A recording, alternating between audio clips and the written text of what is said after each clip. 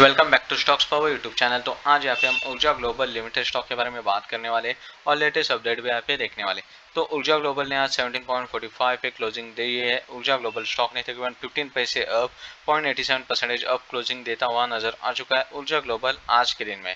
तकरीबन ऊर्जा global stock की बात की जाए तो आज गैप अप से ओपन हुआ था। प्रीवियस क्लोजिंग के ऊपर ओपन होकर सुबह में यहाँ पे थोड़ी हल्की सी रैली भी की थी, पर ऊपर यहाँ पे रजिस्टर लगा 17.75 है जो कि ब्रेक नहीं कर पाया यहाँ पे ऊर्जा ग्लोबल स्टॉक तो फिर से वहाँ से गिरावट देखने को मिली थी ऊर्जा ग्लोबल स्टॉक में।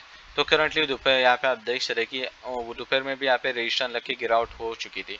तो यहाँ पे ओपन हुआ था 17.50 पे ऊर्जा ग्लोबल लिमिटेड स्टॉक। आज के दिन में हाई बनाया था 17.75 का और लो है तकरीबन 17. फोर्टी का।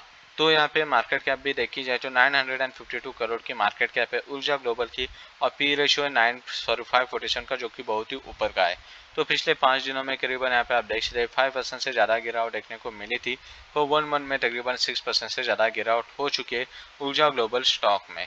तो रिसेंटली ऊर्जा ग्लोबल का चार्ट एनालिसिस भी देखा जाए तो रिसेंटली मंथली प्यूट के साथ यहाँ पे ट्रेडिंग कर रहा है। पिछले चार दिनों से यहाँ पे सपोर्ट ले रहा है मंथली प्यूट का। जबकि यहाँ पे आप देख सकते हैं कि मंथली प्यूट का सपोर्ट ले रहा है। ऊपर यहाँ पे ऑरेंज कलर का लाइन जो है, वो फिफ्टी मूविंग एवरेज का रजिस्ट्रेशन भी लगता हुआ नज़र आ रहा है। जबकि ये ब्रेक होगा, ऊपर का जो ऑरेंज कलर का मूविंग एवरेज तब एक अच्छी मूवमेंट आने के चांसेस दिखाई देंगे ऊर्जा ग्लोबल स्टॉक में। तब तक यहाँ पे चौबीस मूवमेंट हो सकती है या गिरावट देखने को मिल सकते हैं ऊर्जा ग्लोबल में। तो ये थे latest update Urja global stock के लिए।